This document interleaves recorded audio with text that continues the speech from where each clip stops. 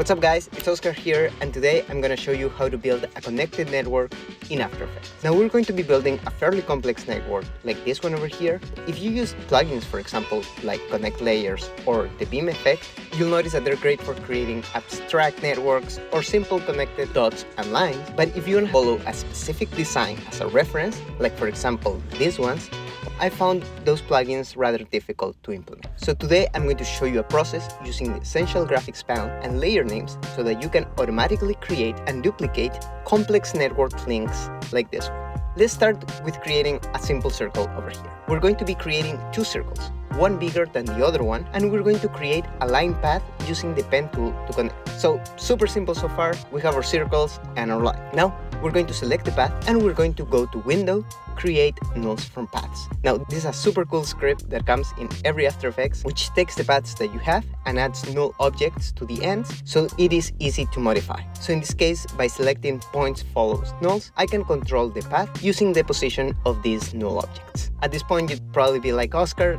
you can easily parent the nulls to each of these circles and you have the path. That's the easy approach when you only have one path, but it makes it difficult if you want to duplicate it and add more circles later on. Now we're going to rename the path here along with the different nulls. We're going to call this path 1. For the ending null, I'm going to put path 1, comma 2, and then for the origin null, path 1, comma 1. Now this is going to be the base for our preset. So here's the trick. We're going to pre-compose these layers by hitting Shift Command C and call them path comma 1. Now, in the pre-comp, we're going to leverage the Essential Graphics feature. If you haven't used the Essential Graphics menu before, it's a tool that lets you access properties from pre-comps and modify them without having to go back and forth between the main comp and the pre-comp. In our case, we'll grab the origin and the endpoints, which correspond to the positions of the origin and end. We'll also add a trim command to the end using the trim. That way, we can extend or shrink the paths whenever we want. Now, once we're back in the main comp, you'll see that these essential properties show up in the dropdown and we can edit them directly from the main. The best part is that we can duplicate this comp as many times as we want and give it unique values without affecting the master pre-comp. Now this is one of the most important part of the process, naming the circles properly.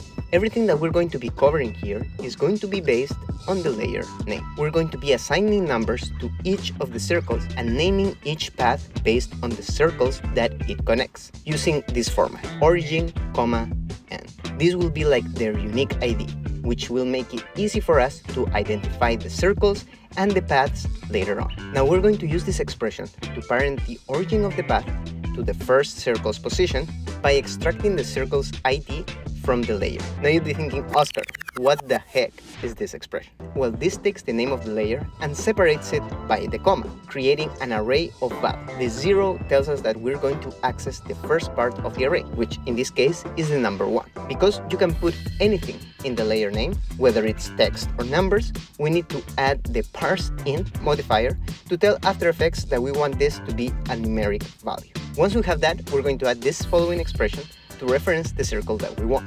P equals this comp dot layer circle comma plus OR. So OR is going to be the ID of the origin circle. And now we're going to be referencing the circle that has that number. So again, we're taking the first number from the layer name and we're referencing the position of the circle that has that number. In this case, 1. If this is difficult to understand, don't worry, it takes some time to understand it, but it is crucial to have all of the names referenced properly. Now, we're going to do the same for the ending, except that instead of taking the first number, we're going to take the second number. As you can see, the path automatically selects the position of the given circles, and whenever you move any of the circles, the path will follow automatically. Now, duplicating it is super easy because we have added the layer numbers at the end.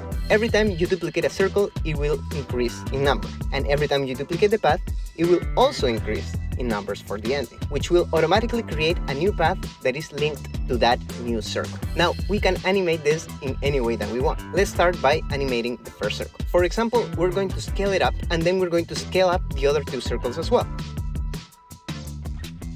Perfect. Now, one thing that I want to add here is the rotation of the circles. So we're going to be parenting these two small circles to the bigger circle. Unfortunately, when you do this, the expression breaks because now the position coordinates have changed. So now the position values of the circle don't actually reference the true position in the comp. For this, we need to add a new line of text. So that way, no matter to which layers it is parented, the links will always follow the circles. Now you can customize the links if you want by easily going into the master comp and say, for example, we're going to reduce the size of the stroke. Yep, and then we're just going to stylize this animation a little bit better. We're going to pre-compose it, and then right at the moment where it changes speed, we're going to invert it to add a little bit more action into it. Perfect. Now I'm happy with how this is looking. All it took was creating one pre-comp and duplicating it as many times as we want. Now let's take a look at a different example, which is a more complex network. For this one, it is super important to have a very good organization in place. As you can see, there's a lot of layers here, which makes it challenging to keep track of which circle is which. So in this case, I've created text layers to quickly identify the number of the circles, and then I can accurately write down the comma-separated pairs for each. When you have a lot of layers like this, it's going to be super challenging to keep track of which layer is which, so I usually like to hide the layers that are not that important.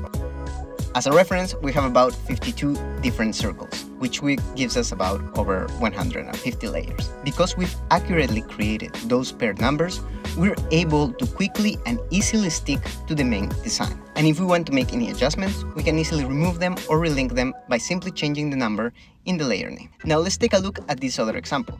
This is an example from the New York Times Vertex, which I thought it was another great way of applying this approach because you need to follow a very specific set of connections in order to form the shape. Similarly, we name our points using text and then create the comma-separated pair. And because you're referencing a single master composition, you only need to go there once to stylize your line. So for example, we've added dashes to the strokes and we've animated them together and all of the lines follow the same pattern. So this approach gives you a lot of flexibility since you're able to quickly customize, change, and map the connected points. And it doesn't have to be points. We've talked about using images, icons, and any shape that you want, you can connect it using this technique. So I hope you see the power of using the Essential Graphics panel along with the layer names to create a powerful rig.